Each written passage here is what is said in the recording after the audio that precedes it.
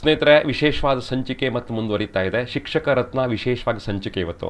ಒಬ್ಬ ನಿವೃತ್ತ ಶಿಕ್ಷಕರು ನಮ್ಮ ಸ್ಟುಡಿಯೋ ಒಳಗೆ ಬಂದಿದ್ದಾರೆ. ಎಪ್ಪತ್ತೈದು ವರ್ಷ ಅವರಿಗೆ ಪೂರ್ತಿ ಆಗ್ತಾ ಇದೆ. ಹೆರ್ಮುಂಡೆ ಅನ್ಸೋ ಅತಿ ಅದ್ಭುತವಾಗಿರ್ತಕ್ಕಂಥ ಕರ್ಮಭೂಮಿಯನ್ನು ಕಟ್ಕೊಂಡಿದ್ದಾರೆ.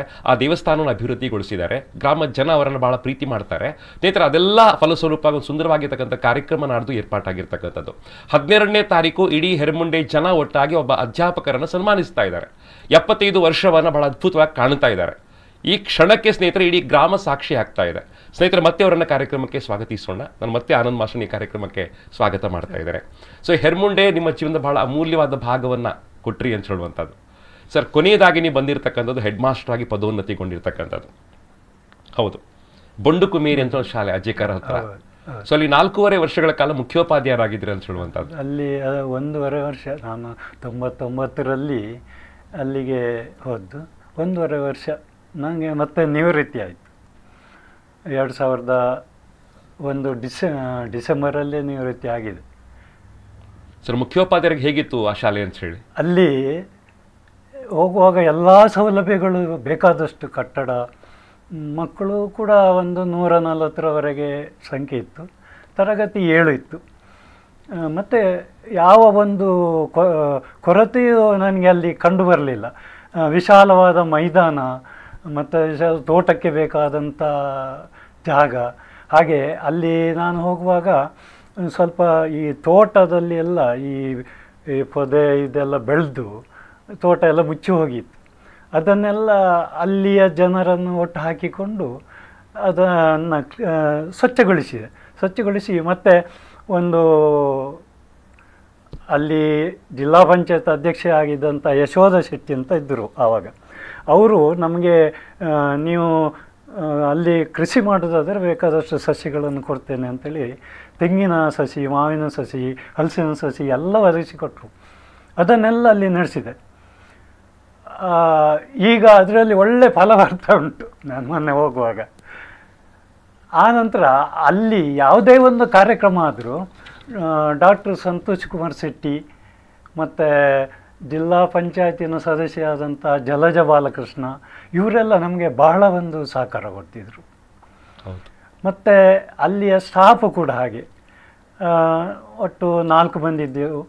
ಒಂದು ಎ ಪ್ರಭಾಕರ್ ಅಂತೇಳಿ ಮತ್ತೊಂದು ಸರೋಜ ಇದು ಸುರೇಖಾ ಅಂತ ಮತ್ತೊಬ್ಬರು ಶಾರದಾ ಅಂತ. ಅವರೆಲ್ಲ ಭಾಳ ಒಂದು ಒಳ್ಳೆ ಕೆಲಸಗಾರರು.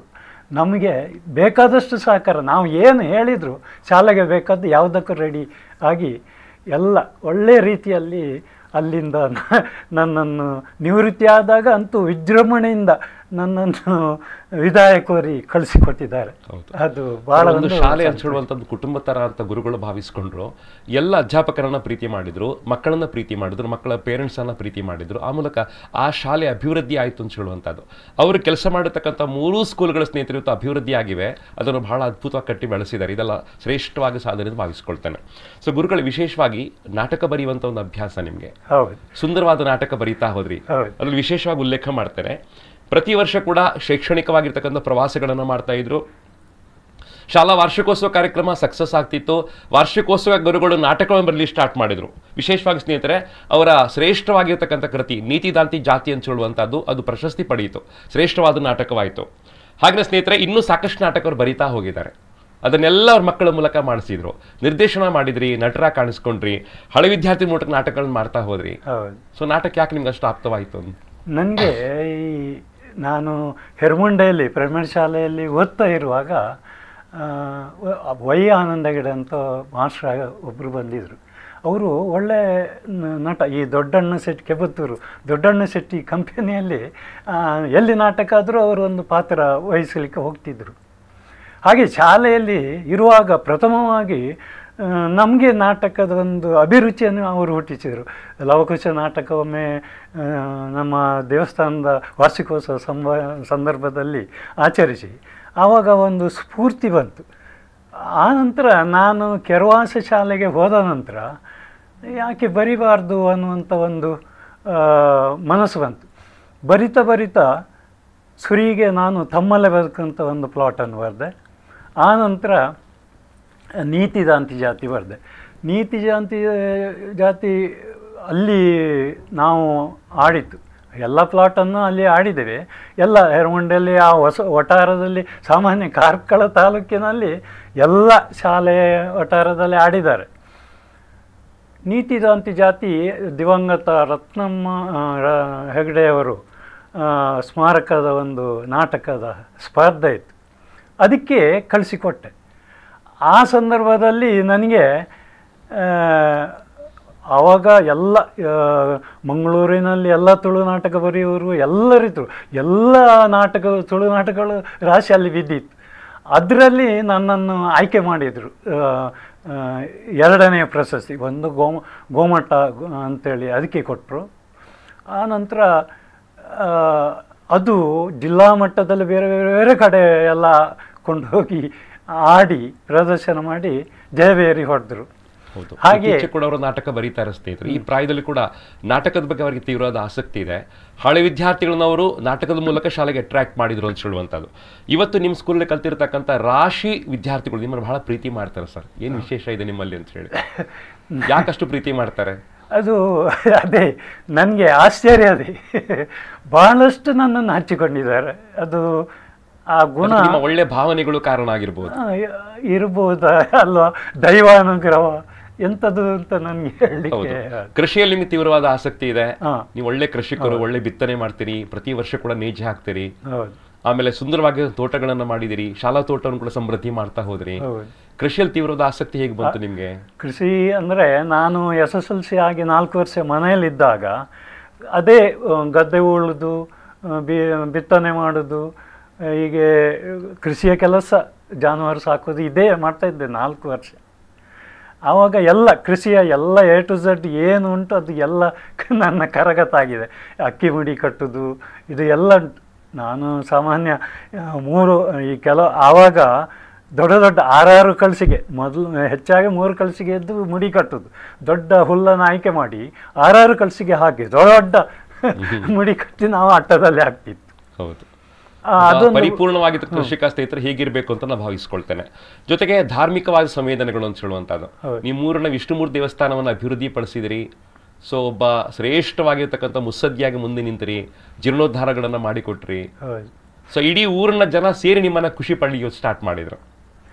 ಆವಾಗ ಅಂದರೆ ನಾನು ಒಂದು ಇಪ್ಪತ್ತೈದನೇ ವರ್ಷ ಪ್ರಾಯದಲ್ಲಿ ಅಲ್ಲಿ ದೇವಸ್ಥಾನದಲ್ಲಿ ನಮ್ಮ ಮುಕ್ತೇಶ್ವರಾಗಿರುವಂಥ ಶಿವರಾಮರಾವ್ ಮಳ್ಳಿಯವರು ಇದು ನಮ್ಮ ಮನೆ ದೇವಸ್ಥಾನಕ್ಕೆ ಸಂಬಂಧಪಟ್ಟ ಗುತ್ತಿನ ಮನೆ.